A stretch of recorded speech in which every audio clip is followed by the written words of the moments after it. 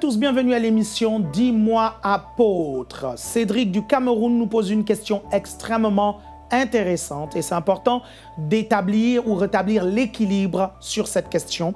Il dit Est-ce normal d'enseigner les ruses du diable et ses actions de sorcellerie au peuple de Dieu pour les mettre en garde? En fait, le problème dans l'enseignement, dans une église, c'est l'équilibre, en fait.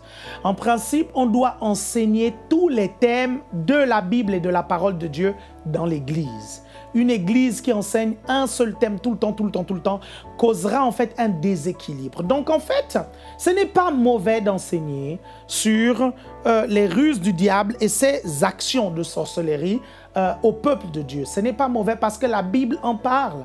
La Bible nous parle des sorciers. Dans Actes des Apôtres, il y a par exemple Elimas le magicien. C'était un sorcier. La Bible nous parle d'un certain, un, dénommé Bar Jésus. C'était un magicien. La Bible nous parle de Saül qui allait euh, consulter euh, euh, une voyante. Donc la Bible parle de la sorcellerie. La Bible dit que la désobéissance équivaut à la divination, qui, qui équivaut à la sorcellerie. Donc si la Bible parle de quelque chose, c'est important que vous puissiez être enseigné sur ces choses-là. Est-ce que vous arrivez à me comprendre? Donc, ce n'est pas un problème de parler du diable et des ruses du diable. Et d'ailleurs, il y a un verset biblique qui le dit.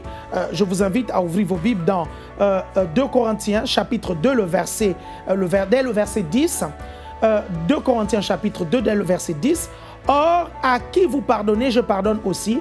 Et ce que j'ai pardonné, si j'ai pardonné quelque chose, c'est à cause de vous en présence de Christ. Le verset qui nous concerne maintenant, verset 11, afin de ne pas laisser à Satan l'avantage sur nous, car nous n'ignorons pas ses desseins. Le mot, dessein ici, c'est ses plans en fait. Est-ce que vous comprenez?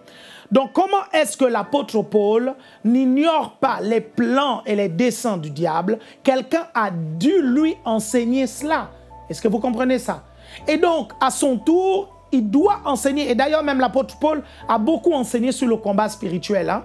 Il dit, euh, nous n'avons pas à lutter contre la chair et le sang, mais contre les principautés, contre les dominations, contre les puissances des ténèbres. Ce sont des catégories d'esprit. Donc l'apôtre Paul a beaucoup, beaucoup enseigné sur les esprits mauvais, sur les ruses du diable, en fait. Donc ce n'est pas mauvais. Le problème, c'est lorsque euh, c'est euh, tout le temps, c'est le même sujet en fait. On voit les démons partout. On voit les démons dans les caméras. On voit les démons dans les murs. On voit les démons, partout et c'est le seul sujet du 1er janvier au 31 décembre. Non, il faut donner de la nourriture équilibrée aux chrétiens. Maintenant, il y a des ministères qui ont des mandats, notamment les, des ministères dits de combat spirituel. OK? Ces ministères-là, généralement, ils vont tout le temps parler du combat spirituel, le combat spirituel. Et même là, si je prétends être un ministère de combat spirituel, je dois enseigner la foi. Parce que le combat spirituel est une subdivision du combat de la foi. Est-ce que vous comprenez ça? Dans le combat de la foi, il y a le combat contre la pauvreté, il y a le combat contre la maladie, il y a le combat contre les oppressions démoniaques, il y a le combat contre les mauvaises circonstances de la vie. Euh, voilà. Est-ce que vous comprenez? Donc, être un peu plus complet. Et quand vous commencez à enseigner sur la foi, mes chers frères et sœurs, vous allez être équilibrés parce que la Bible dit que vous ne pouvez pas vivre le juste vivant par la foi. Et vous allez commencer à toucher tous les domaines de la vie chrétienne, y compris même la communion et la relation avec Dieu. Voilà, j'espère que je vous ai aidé. J'aimerais juste dire à toutes les personnes qui ont des questions euh, que si vous avez des questions, n'hésitez surtout pas à les poser via les commentaires euh, qui sont juste en bas du player. Envoyez-nous votre question. Et j'aimerais aussi dire à ceux qui ne sont pas encore abonnés de s'abonner maintenant à notre chaîne.